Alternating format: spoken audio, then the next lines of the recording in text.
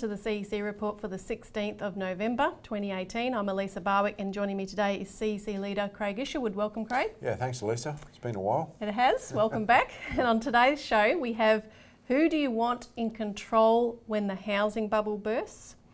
And Victoria defies spy agencies to join Belt and Road. So, firstly, who do you want in control when the housing bubble bursts? Now, the question is is it going to be the banks who dictate terms when the financial markets collapse in the coming period? There's warnings globally of a new global financial crisis, Mark II. The Australian housing bubble could even be the trigger of that. Um, so, do we want the banks in control or do we want the government to take action that puts the people ahead of the banks? That's what we want to discuss firstly today. Um, now, just firstly, a few warnings, um, the latest on the housing bubble front. We had UBS analyst Jonathan Mott, who has mapped out five scenarios for a housing crash this week. In his worst scenario, which he terms a deep recession, housing prices would, would plunge by 30%, and that's likely a conservative estimate, according to many experts. Um, he says that currently we're headed for his third scenario, which is a housing correction but the risk of a credit crunch, he said, is real and is rising. Uh, he also said the housing credit squeeze experienced over the last six months is expanding. The outlook for the banks has not been as challenged since at least 2008. Now, another warning comes from veteran analyst Louis Christopher of SQM Research. Uh, he was reacting to Sydney auction clearance rates, which are headed for 30 year lows. He said, This is getting almost unprecedented. It's certainly unprecedented in the last 20 years. I just cannot see any trigger which is going to create a bottom in the market in Sydney and Melbourne right now. All I can see are factors out there which could make this even worse. Now, add to that Martin North from Digital Finance Economics. He told a UBS investment conference in Sydney that the number of first home buyers has already halved from three months ago. Uh, he also referred to investors holding multiple properties who may be forced to sell in large numbers. And we're talking affluent households here that have been drawn into the bubble mm-hmm. and they're now coming across conditions that would tempt them to sell. And Martin North said, I am expecting to see some unnatural acts that kick the can down the road like creating first home buyer opportunities, trying to get people to come back into the market.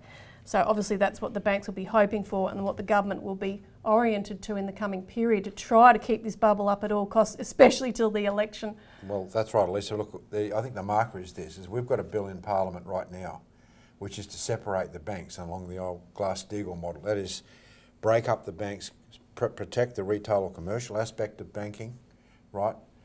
That's just normal, boring banking. It's what banks always used to be. It's where the credit is pr produced for the, or you know, the money is lent out for the ordinary economy. And then you've got the speculative side, which is your investment and merchant banking and everything else, um, insurance houses, stockbroking houses that have been sort of put into the banks, into one big conglomerate. That all gets broken out because most of that activity with the investment merchant banking is highly, highly speculative, which is causing the problem. It's the reason that the market, that the housing market's been, you know, uh, become so high is because yeah. of the lending policies of the banks. Now, you separate out the retail commercial side of uh, the banking system from the investment banking system. That's the first thing. We've got a bill in Parliament to do that. So the real marker for people is if they want the government to control the banking system, they've got to get active ring up their members in Parliament and say, look, we want this, bar, this, this bill passed. Mm -hmm. Because right now, you know, there's a lot of, uh, these politicians are still believing a lot of the hype that they're being told by the Reserve Bank, by APRA and ASIC and so the regulators, right, which Kenneth Haynes in his Royal Commission have shown to be absolutely negligent. And that's actually putting it in, in, in mild terms, right? Mm. And so there's other policies that have to be brought out too. You can't allow the banks to run a, a policy of controlling the economy, which is what's happened to date. Because you know, back in the 1930s, Ben Chifley sat on the Royal Commission. He was a very famous you know, Prime Minister and Treasurer of the past in the 1940s. And he wrote a dissenting report into the banking system, which he basically said you cannot allow the private banking system that only has the interests of its shareholders at stake to make decisions that run the economy for everyone, like mm-hmm. for the general welfare. So this is a real this is a real principle. Now it's, it's our politicians, our people the, that are going to make the decisions. They're going to mm-hmm. say, okay, well that principle holds, or we're going to have a complete free market operation to control whatever downturn we're heading to, whatever type or however fast that is. If we allow the banks to be in control, then we're going to get more of the criminality mm-hmm. that you've seen with the Royal Commission. And in a crisis, that's going to be dire. Now, we've got to take a quick break, but right after this, we're going to discuss the bad policy decisions that have been made in the last few decades.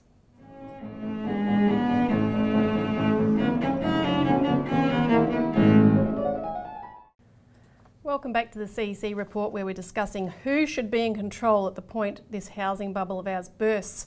Now, we want to look at the recent period because there's policy decisions that have been made, and three major ones I want to point to today that have put us in a real dire situation that's brought this crisis on. And we're at another policy decision point now, really, where if the right decision is not made, uh, history you know, is going to look very different to what it could be. So, we're going to talk about firstly the repeal of Glass Steagall. That was a critical decision point. Um, secondly, the response to the global financial crisis, which comes in two parts the bailout and quantitative easing program, which made matters much, much worse, and then the bail in, the decision to go with the bail in of depositors and of bank creditors to save the bank's skin. So, the takedown of Glass Steagall, firstly, um, this first came under proposal in December 1984 when JP Morgan put out an inter- internal memo rethinking Glass Steagall uh, Alan Greenspan was one of the directors at that time of the bank, and he was one of the key authors of that program. One of the things he referenced was the revolution that was occurring in the financial services markets. Which uh, means more, more, speculation, more gambling. Well, exactly. And he said that that demanded that rigid segmentation be rethought. Mm-hmm. And one of the things he pointed to was securitization, which would allow ordinary banks to bundle up and resell uh, all kinds of debt and then that can be then sold and sold again and securitized and derivatized over and over basically. Um, so three years after this paper, Greenspan became head of the Federal Reserve and immediately pushed for the repeal of Glass-Steagall. But before 1999, it was already well and truly eroded away. He quickly allowed banks to engage in securitization in, it was already happening in a small degree in the 1970s with mortgages. By the 80s, it was applied across many other sectors, other kinds of loans like auto loans, and it really took off in the 1990s. Um, and there, from there, he eroded various other regulations allowing commercial and investment banks to merge, for instance, before it was repealed in 1999. Now, I want to show a couple of clips of people warning against what would happen uh, if this went ahead. The first is from Pam Martens giving testimony before the Federal Reserve in June 1998. And Pam Martens worked on Wall Street for 21 years and became an outspoken critic of its corrupt practices. And today we collaborate with her in the United States, actually. So here she is.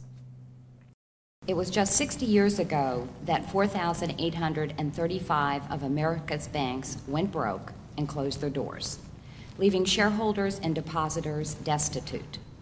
The underlying reason that this happened was the lack of moral courage by our regulators and elected representatives to just say no to powerful moneyed interests. Instead of just saying no, Washington handed the banks the equivalent of an ATM card to the Fed's discount window to speculate in stocks.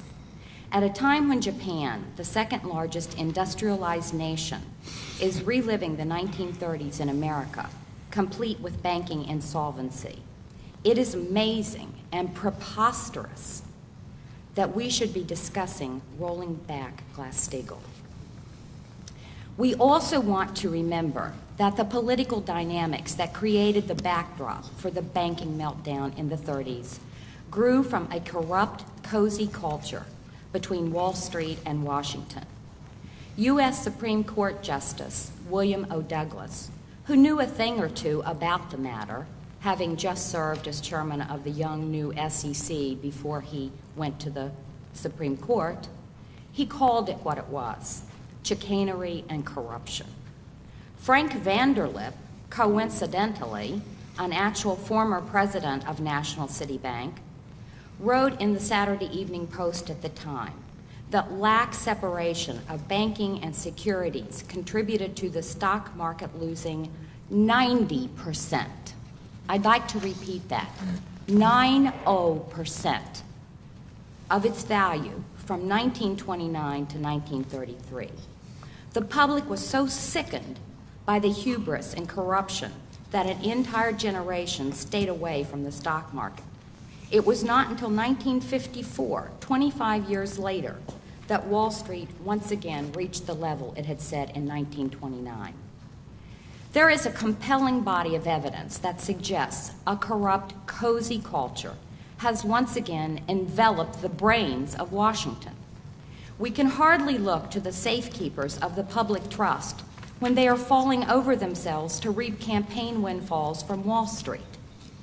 Washington and regulators are quick to criticize moral hazard when it's on foreign shores. Let's look at the moral hazard incubating at Travelers in Smith Barney. In 1996, when the SEC and the Justice Department found that Smith Barney was one of 24 firms fleecing their own customers through six or more years of price, price fixing, no one went to jail. When, within the last two years, when a special prosecutor found that Smith Barney had bribed the former U.S. Agriculture Secretary, again, no one went to jail.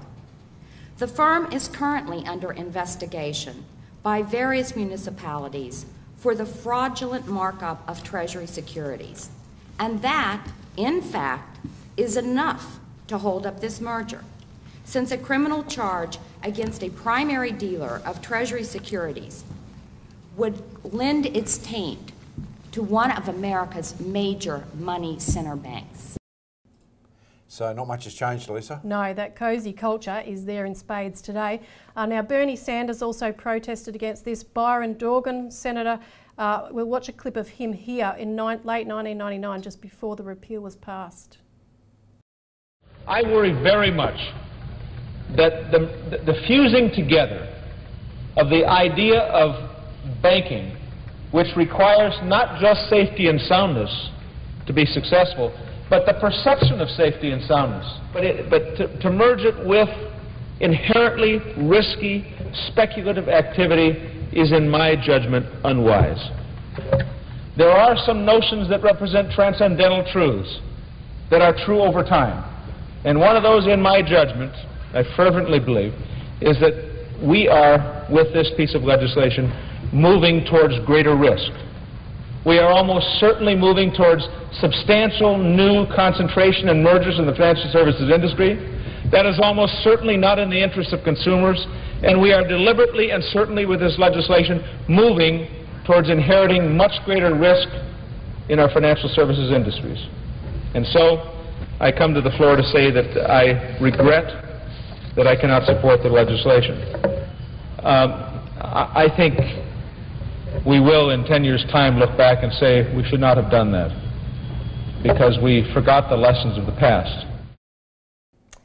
So then, after the repeal of Glass-Steagall, things really went downhill. We didn't heed those warnings. Um, following the global financial crisis, the decision to go with policies that would allow the banks to get straight back into the speculative travesty that they'd been conducting mm-hmm. has led us to an even greater disaster. Nomi Prins, another former Wall Street banker, wrote extensively about this in her new book Collusion, where she talks about the setup between um, central banks worldwide, some of the world's biggest too big to fail banks, and governments colluding to create an incredible concentration of power in the hands of the banks. And quantitative easing exacerbated the problem because it flooded money into those banks to allow them to conduct an even greater range of speculation.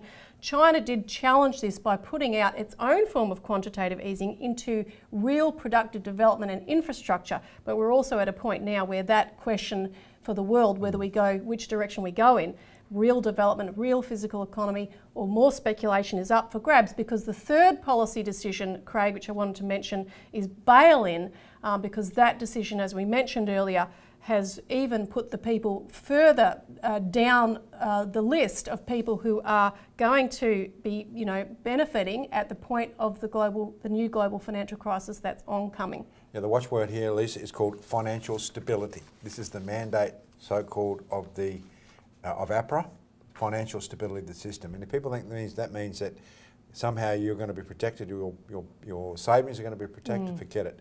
It's all very, very clear from all the work that we've done as part of our bail-in campaign since 2013.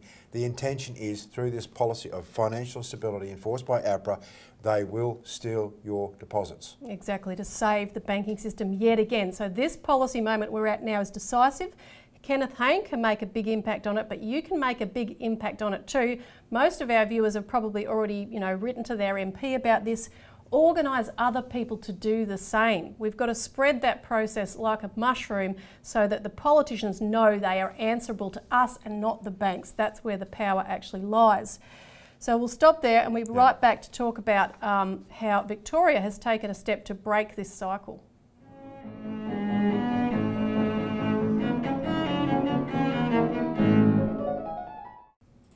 Welcome back to the CEC report. Victoria defies spy agencies to join Belt and Road. So our media was in much of a flap over the last couple of weeks uh, over the fact that the Victorian government not only joined uh, the Belt and Road, which is China's program to bring continents together um, with connectivity of infrastructure of all kinds and collaboration for mutual benefit um, the world over, really, but also, they were in a flap over the fact that the Victorian government didn't immediately release the memorandum of understanding of what they agreed to with the Chinese to the public, which is not even really a usual thing to do. Mm. A lot of agreements, such agreements, are kept quiet, particularly with PPPs and treaties like the TPP, Trans Pacific Partnership, and even the agreement the federal government signed with China on collaboration for infrastructure in third countries is still not public. Um, so that kept the media going for a little bit, but now the um, agreement has been released and it talks about the promotion of infrastructure, trade, investment, common development. It doesn't actually commit us to any particular project or initiative.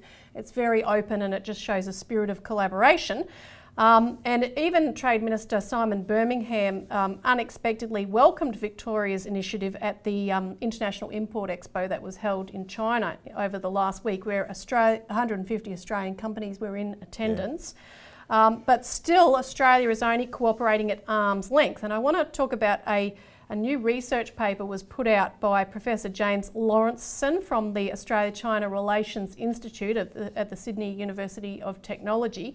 Uh, and what he reveals, and you can read more about it in our Australian Alert Service, and make sure you do call in for a free copy of that if you haven't already to get all the background information that we base the show on. But his uh, report actually shows that most China scare stories are completely unfounded, and he gave a talk about this paper uh, at Sydney University of Technology. And he talked about how the media misconstrues a lot of indisputable facts, such as the fact that only 2.6% of party political party donations actually come from China. You'd think it was 92% the way the media yeah. talk. Um, and he said the media go straight to ASPI, um, the Australia Strategic Policy Institute. He said, I wish they would go to the experts rather than to the loudest voices. And I want to show an audio clip from this presentation where a question was asked by a former Four Corners executive producer, Peter Manning. Uh, and we'll just listen to what he had to say. So that, I guess that's, I, I, don't want to, I don't want to start bashing the media, but gee, I wish the Australian media would at least, and look, some, some do this better than others, but as a general point, I wish they would go to experts rather than the loudest voices. Next question, Peter Manning. Um, I'm a uh, former executive producer of Four Corners. Uh, I've made, Welcome. Thank you. I've made, I've made my, my life uh, investigative journalism in one way or another. Um, and in that kind of journalism, of course, sources are everything. Mm. and checking, double checking, triple checking your sources before you make an allegation, before you use the facts before you to make the allegation. Mm. And I think one of the changes that's occurred under the uh, new media circumstances that we're in is that there's a new form of journalism called, which Columbia University calls access journalism rather than investigative journalism. And the access journalism is getting a good leak from an organisation. And where do most of those leaks come from? This is not just in Australia. They come from intelligence sources um, who cannot then, and often under the Act, a, a, a Terrorism Act or you know, Journalism Act or whatever, they cannot uh, reveal their sources, mm. The, the sources beyond the source, so to speak, so the documents. Mm. So what you get, and there's a good example of it in today's Sydney Morning Herald, actually, the, the scoop about this woman who was paying off the United Nations president. And if you look at a, a lot of the words that are used about alleged, mm. sources say um, uh, this has been lifted from such and such. But the documents showing these things, quite apart from the court documents, are not shown in the article. So you as a reader, unlike investigative journalism, which was the way it was done, and, and often is still done by Four Corners, um, it, you don't get to see the actual people who are saying these things. Mm. Um, and when you get uh, Australian security resort, uh, uh, services and the FBI being put together and American court cases, and you don't hear the other side of the court cases mm. mm. and the defence and so on and so on, it's not only bad court reporting, it's actually taking a line about what you know these particular intelligence agencies once said. So, Craig, that's pretty blatant, and we actually had the same thing being said by John Menadue recently, uh, back in May, and he was an official, of course, in both Whitlam and Fraser governments. He had said that ASIO is pretty much running our foreign policy on China and feeding the line directly to journalists on the so called China threat. Um, we've also had reports from Reuters in October that, and they cite sources, of course. Yeah. Um, they say that the Five Eyes, the US, UK, Canada, Australia, New Zealand spying alliance, has been holding talks beneath the radar intelligence, diplomatic, government, heads of government, and so forth, to exchange classified information about China's foreign activities. Mm. So, this is a big topic of debate. We've got Vice President from the United States, Mike Pence, coming down here. He's pushing the same China scare line. Um, Asian historian Dr. David Brophy just said a lot of the Chinese influence stuff is about ensuring Australia stays in lockstep with the US. Yes. We've got to break that lockstep. Absolutely, Lisa. Look, the, the Belt and Road Initiative is involving so many, uh, you know, 150 countries or something like that. It is what is developing this sector you know, the Asian sector. And you have to look at it. We're in a Victorian election right now, mm. right? What the uh, Andrews government done is very good with this, uh, aligning ourselves with the Belt and Road, but the, this, the China scare, the operation of the intelligence agencies to create this China scare, that's what has been used politically to try and damage uh, a very good initiative on behalf of the Victorian government. So people should be aware of this, that they're, they're being used, um, again, by the intelligence agencies to push what we call a British policy mm. British policy of free trade and not the Belt and Road Initiative. And we've got to think about, just like with the bank story we had up front, who do we want in control of our policy and do we want that policy to be what's best for the population or for select special interests? That's the question. So it's all we've got time for this week, but be sure to call us if you haven't already and get involved. Thanks for tuning in. Thanks, Craig. Yeah, thanks, Lisa. Join us again next week.